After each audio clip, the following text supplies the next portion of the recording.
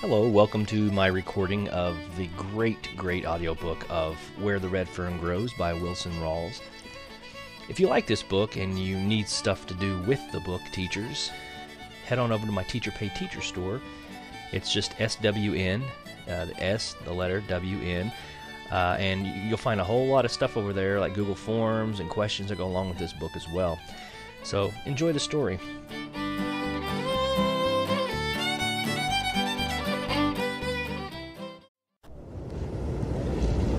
Chapter 18 Just before dawn, the storm blew itself out with one last angry roar. It started snowing.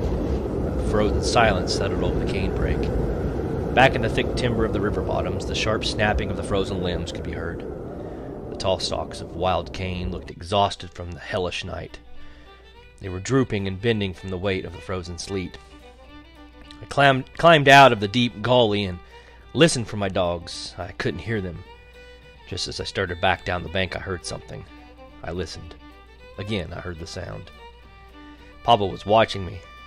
Can you hear the dogs? he asked. No, not the dogs, I said. But I, I can hear somewhat something else. What does it sound like? He, he asked. Like someone whooping, I said.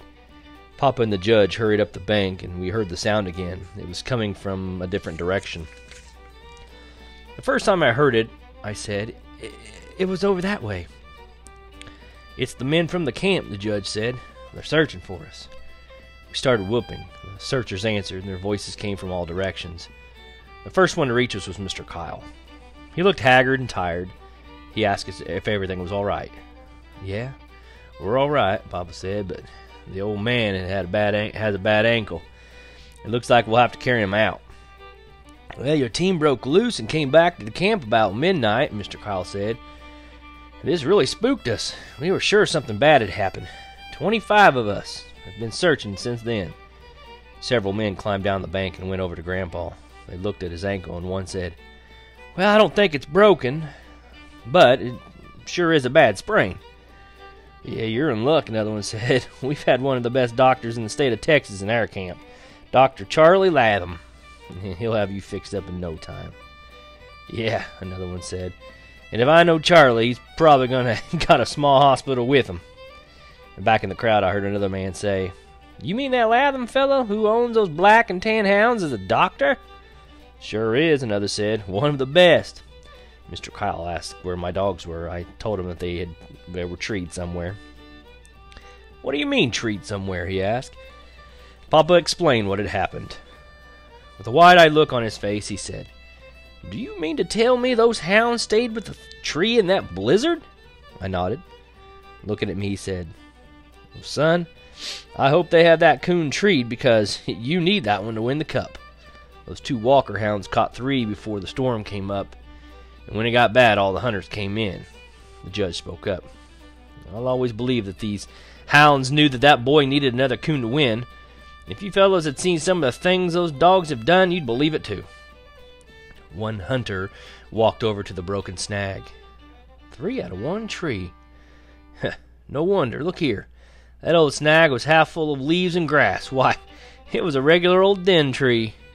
Several of the men walked over, and I heard one say, "Yeah, I've heard, I've seen this happen before. Remember that big hunt in the Red River bottoms when the two little beagle hounds treed four coons and an old hollow snag? they won the championship, too. I wasn't there, but I remember reading about it, one said. Say, I, I don't see Benson, Mr. Kyle said. The men started looking at each other. He was searching further downriver than the rest of us, one fellow said. Maybe he didn't hear us shouting. Some of the men climbed out of the gully. They started whooping, and from a distance we heard an answering shout. Ah, he hears us, someone said. He's coming. Everyone looked relieved.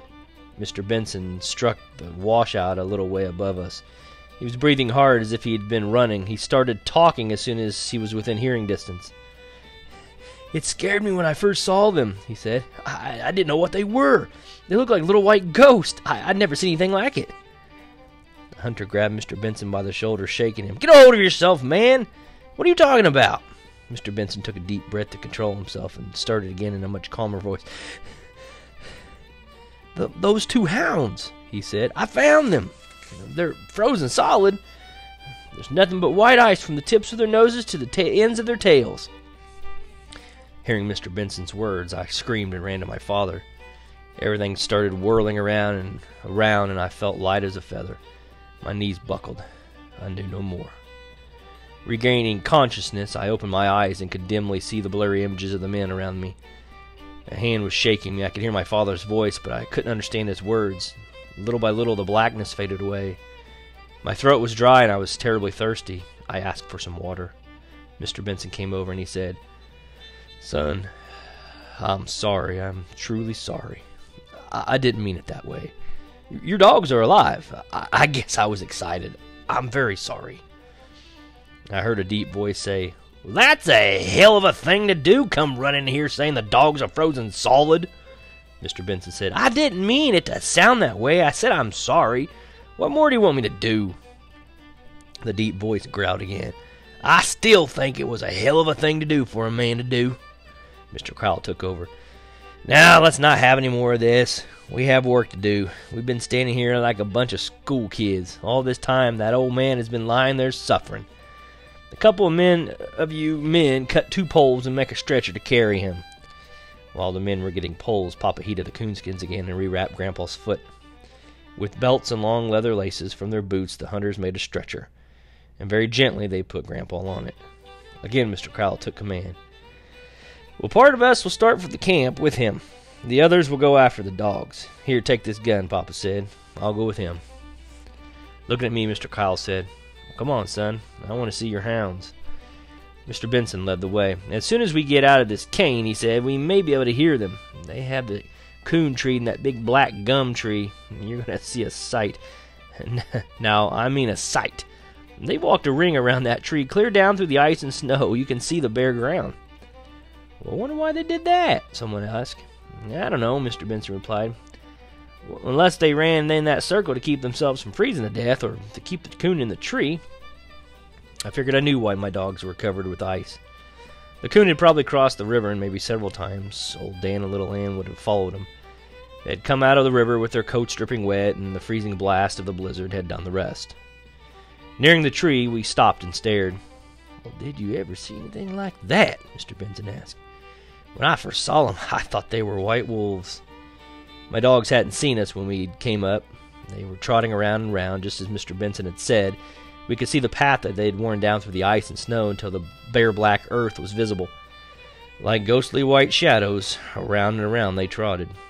In a low voice, someone said, They know that if they stop, they'll freeze to death. It's unbelievable, said Mr. Kyle. Come on, we must do something quick. With a choking sob, I ran for my dogs. On hearing our approach, they sat down and started bawling treed. I noticed their voices didn't have that solid ring their ice covered tails made a rattling sound as they switched this way and on that on the icy ground. A large fire was built, and standing my dogs close to the warm heat, the gentle hands of the hunters went to work. With handkerchiefs and scarves heated steaming hot, little by little the ice was thawed from their bodies. If they had ever lain down, someone said, they would have frozen to death. They knew it, another said. That's why they kept running in that circle. What I can't understand is why they stayed with the tree, Mr. Benson said. I've seen hounds stay with a tree for a while, but not in a northern blizzard. Men, said Mr. Kyle. People have been trying to understand dogs ever since the beginning of time. One never knows what they'll do. You can read every day where a dog saved the life of a drowning child or lay down his life for his master, but some people call this loyalty. I don't. I may be wrong, but I call it love, the deepest kind of love. After these words were spoken, a thoughtful silence settled over the men. The mood was broken by the deep growling voice I had heard back in the washout. Well, it's a shame that people all over the world can't have that kind of love in their hearts, he said. There would be no wars, slaughter, or murder, no greed or selfishness. It'd be the kind of world that God wants us to have, and, you know, a wonderful world. After all the ice was thawed from my dogs and their coats were dried out, I could see they were all right. I was happy again and felt good all over. One of the hunters said, Do you think those hounds are thawed out enough to even fight a coon? Sure, we'll just run 'em out of that tree, I said. At the crack of the gun, the coon ran far out on the big limb and stopped. Again, the hunter sprinkled him with bird shot. This time he jumped. Hitting the ground, he crouched down. Old Dan made a lunge, and just as he reached him, the coon sprang straight up and came down on his head. Holding on with his claws, the coon sank his teeth in, in a long, tender ear. Old Dan was furious. He started turning in a circle, bawling with pain. Little Dan was trying. Little Ann was trying hard to get a hold of the coon, but she couldn't. Because of his fast circling, old Dan's feet flew out from under him, and he fell. This gave Little Ann a chance. Darting in, her jaws closed on the back of the coon's neck. I knew the fight was over. Arriving back at the camp, I saw that all the tents had been taken down but ours. The hunter said, Everyone was in a hurry to get out before another blizzard sets in. Papa told me to take my dogs into the tent as Grandpa wanted to see them. I saw tears in my grandfather's eyes as he talked to them. His ankle was wrapped in bandages. His foot and toes were swollen to twice their normal size. They had turned a greenish yellow color.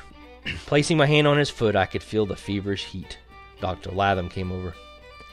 Are you ready to go now? he asked. Snorting and growling, Grandpa said, I told you I wasn't going anywhere until I see the gold cup handed this boy. Turning to face the crowd, Dr. Latham said, All right, man, let's get this over with. I want to get this man to town. That's one of the meanest sprains I've ever seen, and it should be put in a cast, but I don't have any plaster Paris with me. The hunter who had come by our tent collecting the jackpot money came up to me. Handing me the box, he said, well, Here you are, son. There's over $300 in this box. It's all yours. Turning to the crowd, he said, Fellows, I can always say this. On this hunt, I've seen two of the finest little coonhounds I ever hope to see. There was a roar of approval from the crowd. Looking down, I saw the box was almost full of money. I was shaking all over. I tried to say thanks, but it was only a whisper. Turning, I handed the box to my father. As his rough old hands closed around it, I saw a strange look come over his face. He turned and looked at my dogs. Some of the men started shouting, Here it is! The crowd parted and the judge walked through. I saw the gleaming metal of the gold cup in his hand. After a short speech, he handed it to me, saying, Son, this makes me very proud. It's a great honor to present you with this championship cup. The crowd exploded. The hunter's shouts were deafening. I don't know from where the two silly old tears came. They just squeezed their way out. I felt them as they rolled down my cheeks. One dropped on the smooth surface of the cup and splattered. I wiped it away with my sleeve. Turning to my dogs, I knelt down and showed the cup to them. Little Ann licked it. Old Dan sniffed one time and then turned his head away. The judge said, Son, there's a place on the cup to engrave the names of your dogs. I can take it to Oklahoma City and have it done, or you can have it done yourself. The engraving charge has already been paid out by the association. Looking at the cup, it seemed that far down in the gleaming shadows I could see two wide blue eyes glued to the window pane.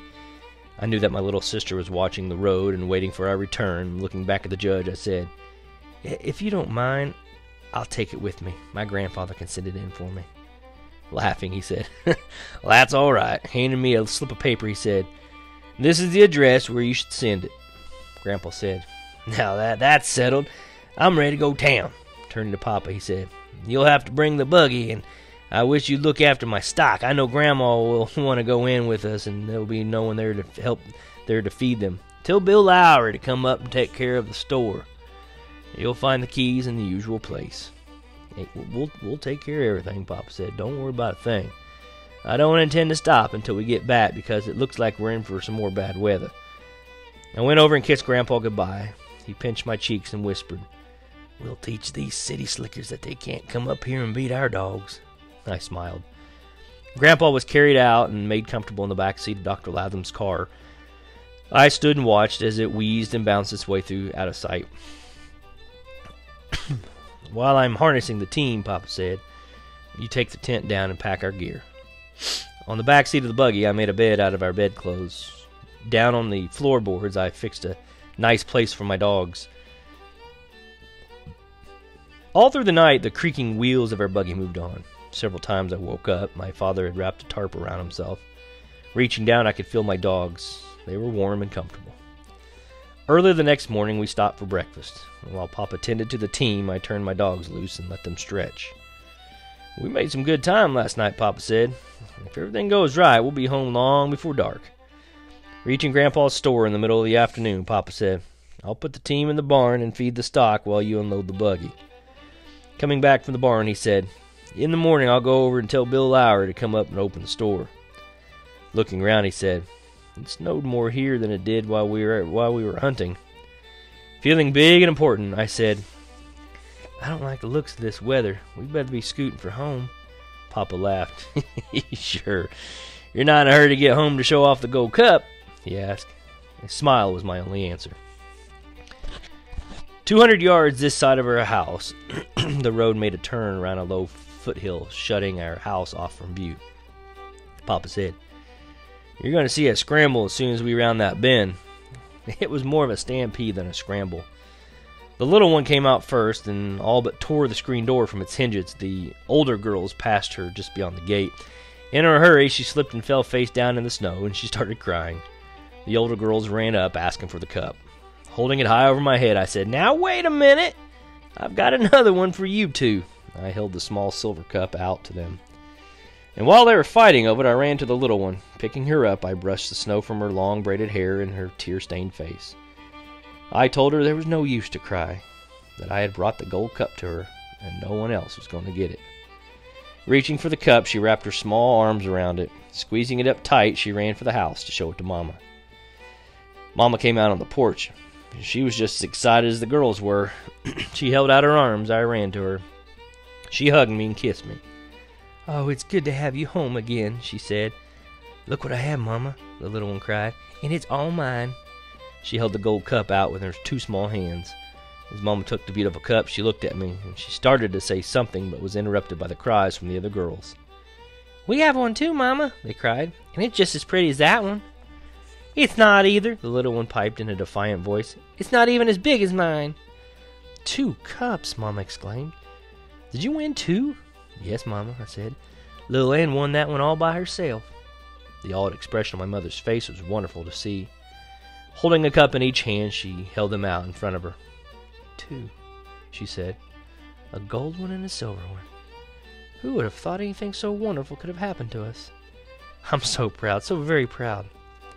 Handing the cups back to the girls, she walked over to Papa. After kissing him, he, she said, I just can't believe everything that has happened. I'm so glad you went along. Did you enjoy yourself? With a smile on his face, Papa almost shouted, Enjoy myself? Why, I've never had such a time in my life. His voice trailed off to a low calm. Well, that is, except for one thing. Grandpa, he had a bad accident. Yes, I know, Mama said. One of Tom Logan's boys was at the store when they arrived. He came by and told us all about it. The doctor said it wasn't as bad as it looked, and he was pretty sure Grandpa would be home in a few days. I was happy to hear this news, and I can tell by the pleased look on my father's face that he was glad to hear it too. On entering the house, Papa said, Oh, I almost forgot. He handed the box of money to Mama. What's this? she asked. Oh, it's just a little gift from old Dan and little Ann, Papa said. Mama opened the box. I saw the color drain from her face. Her hand started trembling. Turning her back to us, she walked over and set it on the mantel. A peaceful silence settled over the room. I could hear the clock ticking away, and the fire in the fireplace crackled and popped. Turning from the mantel, Mama looked straight at us, her lips tightly pressed together to keep them from quivering. Walking slowly to Papa, she buried her face in his chest. I heard her say, Thank God, my prayers have been answered. There was celebration in our home that night. To me, it was like a second Christmas. Mama opened a jar of huckleberries and made a large cobbler. Papa went to the smokehouse and came back with a hickory cured ham, we sat down to a feast of the ham, huge plates of fried potatoes, ham, gravy, hot cornbread, fresh butter, and wild bee honey. And during the course of the meal, the entire story of the championship hunt was told. Some by Papa, but mostly by me. And just when everything was so perfect and peaceful, an argument sprang up between the two oldest girls. It seemed that each one wanted to claim the silver cup, and just when they were on the verge of sawing it in two, so that each would have their allotted share, Papa settled the squabble by giving the oldest one the silver dollar. And once again, peace and harmony was restored. That night, as I was preparing for bed, a light flashed by my window. Puzzled, I tiptoed over and peeked through the pane. It was Mamma, carrying my lantern and two large plates of heaped high with food. She was heading for the doghouse. Setting the light down on the ground in front of it, she called to my dogs. And while they were eating, Mama did something I couldn't understand. She knelt down on her knees in prayer. After they had eaten their food, Mama started petting them. I could hear her voice, but I couldn't make out her words. Whatever she was saying must have pleased them. Little Ann wiggled and twisted, and even old Dan wagged his long red tail, which was very unusual. Papa came out, and I saw him put his arm around Mama. Side by side, they stood for several minutes looking at my dogs. When they turned to enter the house, I saw Mama dab at her eyes with her apron. Lying in bed, staring into the darkness, I tried hard to figure out the strange actions of my parents. Why had Mama knelt in prayer in front of my dogs? And why had she wept? I was running all the way the whys around in my mind when I heard them talking. Ah, I know, Papa said. But I think there's a way. I'm going to have to talk with Grandpa. I, I don't think that old foot is his is ever going to be the same again. He's going to need some help around the store. I knew they were talking about me, but I couldn't understand what they meant. Then I thought, why, that's it. They want me to help Grandpa. That'd be all right with me. I could still hunt every night. Feeling smart for figuring out their conversation, I turned over and fell asleep.